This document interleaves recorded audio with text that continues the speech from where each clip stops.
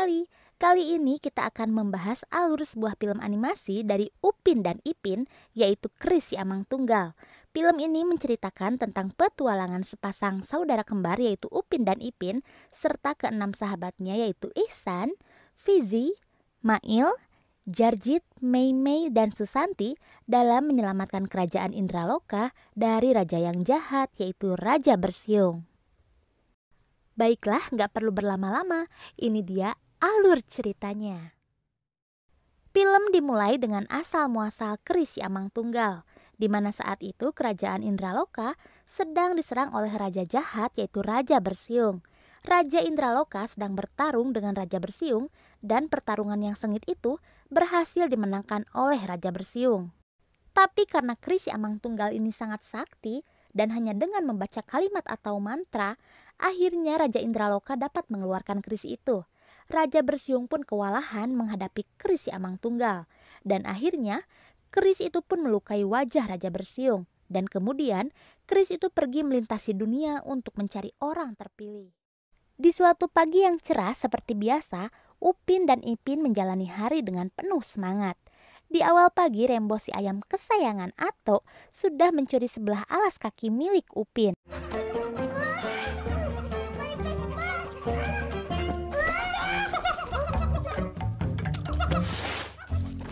Suka ambil si paku. Dan setelah itu, Upin dan Ipin pergi ke gudang untuk membantu Atuk. Ipin melihat banyak sekali keris di gudang Atuk, dan Atuk berkata bahwa keris itu adalah warisan dari nenek moyangnya. Namun di sini ada satu keris yang aneh yaitu keris pemberian seseorang dan keris ini bernama keris si amang tunggal, keris yang tidak memiliki bilah. Eh, eh, syuk, syuk, eh, syuk, syuk. Wah, punya ayam. Pula. Ingat. Baik, bos.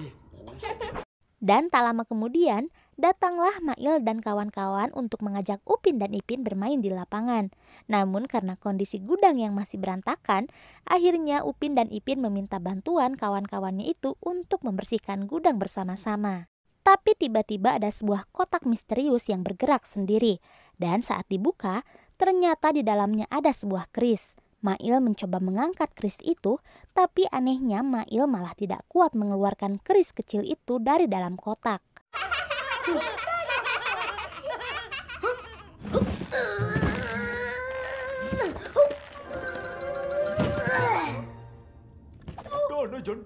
Biar kita orang pula cuba.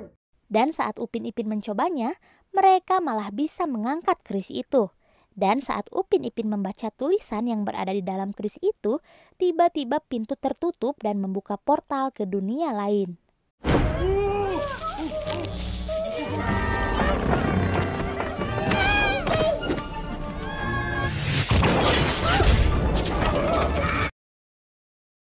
Semua teman-teman Ipin dan Upin terjatuh ke dalam portal dunia berbeda, yaitu menuju ke Indraloka. Dan sesampainya di Indraloka, Upin dan Ipin terpisah menjadi dua kelompok. Ipin bersama Piji, Mail, dan Susanti, sedangkan Upin bersama Ihsan, Jarjit, dan Mei Mei. Saat itu Ipin, Piji, Mail, dan juga Susanti diserang oleh sekelompok lebah dan untungnya ada anak kecil yang menolong mereka yang bernama Belalang.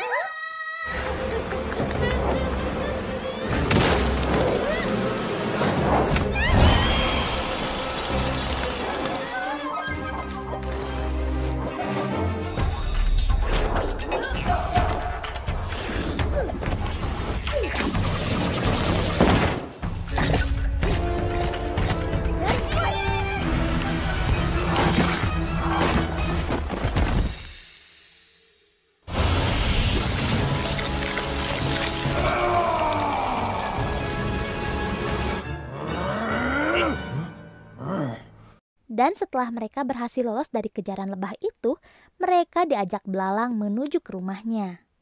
Sementara di sisi lain, Raja Jahat Bersiung merasakan energi si Amang Tunggal telah kembali. Lalu kemudian ia memerintahkan seorang peramal serta pengawalnya untuk mencari keris tersebut. Dan ternyata peramal itu adalah ayah dari anak yang bernama Belalang tadi. Dan setelah ia sampai ke rumah, ia melihat Ipin membawa keris si Amang Tunggal dan ia percaya ramalan itu akan segera terjadi. Melihat bahaya yang akan datang, Pak Belalang pun memerintahkan sang anak untuk menjaga Ipin dan mencari nakoda ragam.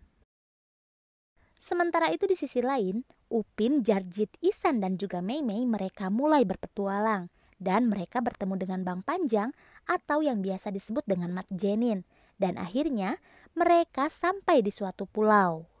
Di sana ia bertemu dengan Nek Min, seorang ketua bajak laut, dan juga Mak Deruma, ibu dari si tanggang yang mengutuk anaknya menjadi batu. Dan tiba-tiba saat Mak Deruma melihat sarung keris milik Atuk, ia sadar bahwa itu adalah keris si Amang Tunggal. Dan tak lama kemudian, rombongan ikan pedang menyerang pulau tersebut.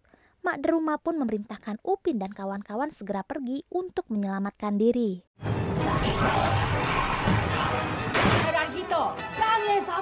Bulan ni sana lagi.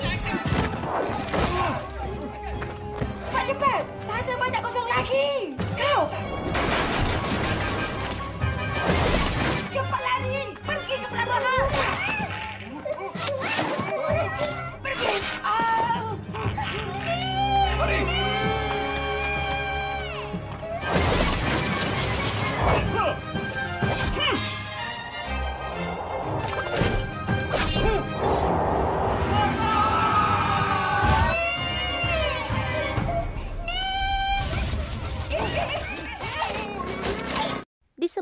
Istana, sang raja jahat bersiung melihat Upin dan Ipin lewat bola ajaibnya membawa keris si Amang Tunggal.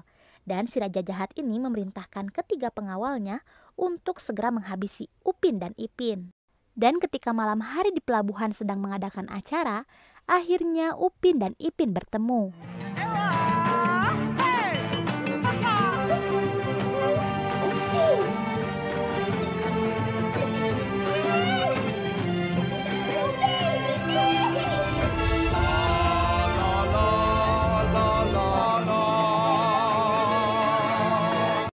Tapi kebahagiaan mereka hanya sebentar. Para pengawal Raja Bersiung tiba di pulau itu dan mereka langsung membuat kekacauan dan meminta Upin dan Ipin menyerahkan keris si Amang Tunggal. Upin dan kawan-kawannya pun langsung pergi untuk menyelamatkan keris si Amang Tunggal itu. Berkat kapal nakoda ragam dan kekuatan keris si Amang Tunggal, akhirnya Upin dan Ipin berhasil melarikan diri. Tetapi seluruh teman-temannya berhasil ditangkap oleh ketiga pengawal Raja Bersiung. oh, wow.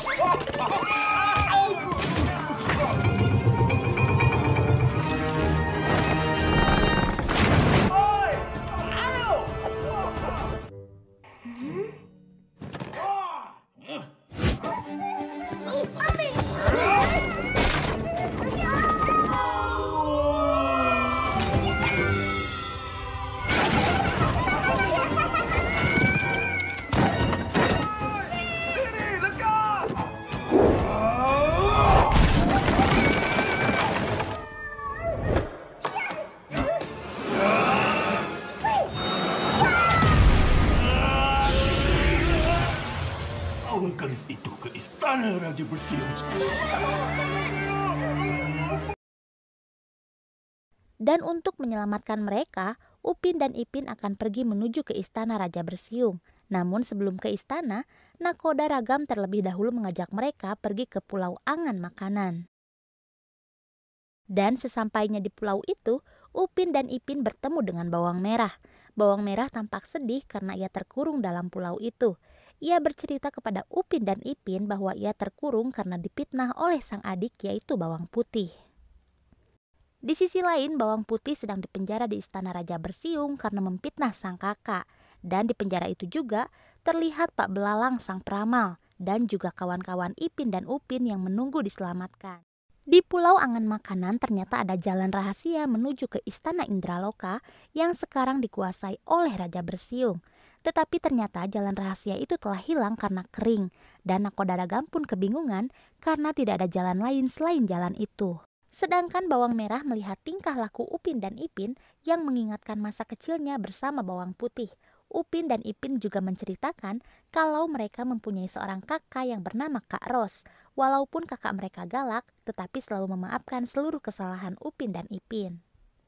Mendengar cerita Upin dan Ipin membuat bawang merah menangis dan memaafkan kesalahan bawang putih. Tiba-tiba air mata bawang merah membuat bilah keris si Amang Tunggal menjadi panjang, sama seperti waktu Mak Deruma menangis dan memaafkan tanggang anaknya yang menjadi batu. Dan tiba-tiba jalan rahasia yang tadinya kering kembali dipenuhi air dan mereka dapat melintasi jalan rahasia menuju ke istana Indraloka. Di perjalanan menuju ke istana, bawang merah mengikuti mereka dan ia tersadar kalau hukuman dikurung di pulau itu telah hilang. Ia pun bahagia ditambah akhirnya ia bisa bertemu dengan bawang putih di dalam penjara Raja Bersiung. Upin dan Ipin juga sama bahagianya karena ia dapat membebaskan teman-temannya. Begitupun Belalang yang bisa bertemu dengan ayahnya. Tapi kebahagiaan mereka tidak berlangsung lama karena para pengawal Raja Jahat Bersiung mengetahui hal itu. Serangga takut api kan?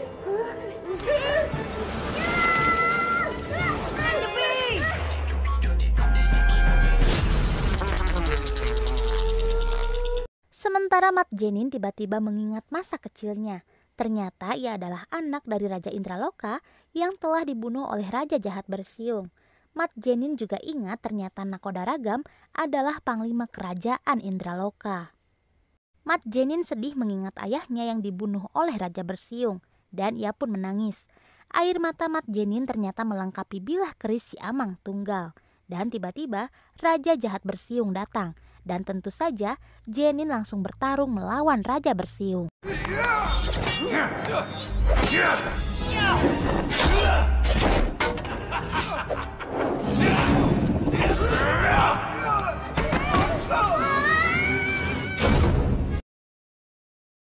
Melihat Jenin terdesak, Raja Bersiung pun berniat membunuhnya.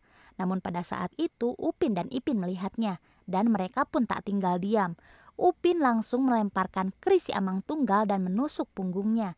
Dan Raja Bersiung pun berteriak kesakitan. Tapi hal itu tidak membunuh Raja Jahat Bersiung, malah membuatnya bertambah kuat. Dan ia meremehkan kesaktian keris si Amang Tunggal. Raja Jahat Bersiung akhirnya menyambar Upin dan Ipin dan ia berencana melemparkan mereka dari atas istana. Mat Jenin sang pewaris tahta Indraloka berniat menolong, tapi ia tidak sanggup berdiri. Nakodaragam dan Mak Deruma pun berteriak agar Mat Jenin membaca tulisan yang ada di keris si Amang Tunggal. Dan setelah selesai membaca itu, tiba-tiba Mat Jenin berubah menjadi kera putih raksasa dan dengan wujud itu, ia bisa menolong Upin dan Ipin yang terlempar keluar istana. Baca! Baca! Dua jiwa menjadi semula! Sinar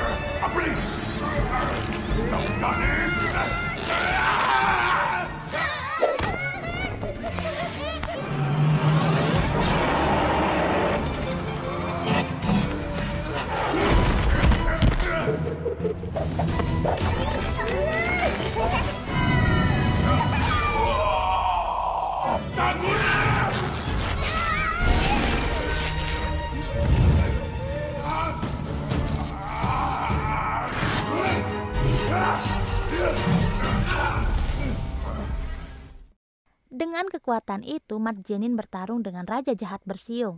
Pertarungan yang sengit antara Mat Jenin, Upin dan juga Ipin melawan Raja Jahat itu berhasil dimenangkan oleh Mat Jenin dengan mencabut mahkota si Raja Jahat dan Raja Jahat Bersiung pun menghilang.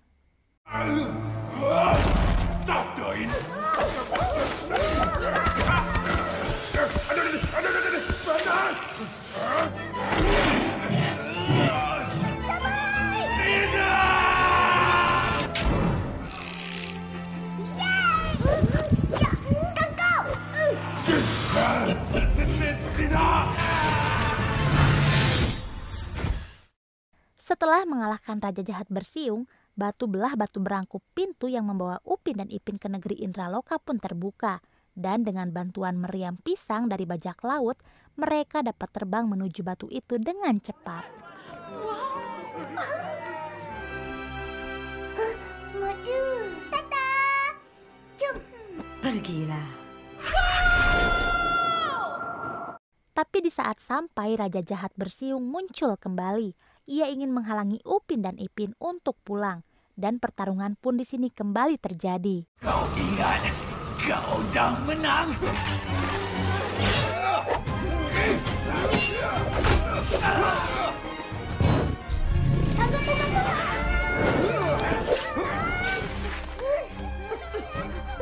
Tiba-tiba saat memukulkan kepala tongkat Raja Bersiung, tongkat itu pun pecah. Dan dari dalam tongkat, keluarlah serangga yang ternyata serangga itu adalah jantung Raja Bersiung.